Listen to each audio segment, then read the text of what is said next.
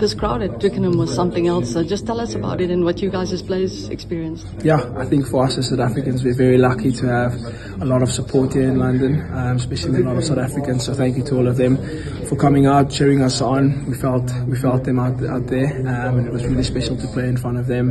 Um, as I said earlier on, it, it was a special occasion playing against the All Blacks at, at Twickenham, and you know obviously we can take a lot of momentum out of this game and um, take it forward to to the World World Cup, which is Scotland. Um, our first game is going to be a quality outfit. So, yeah, I think all in all tonight was very special for all of us. Um, so, yeah, very happy with that.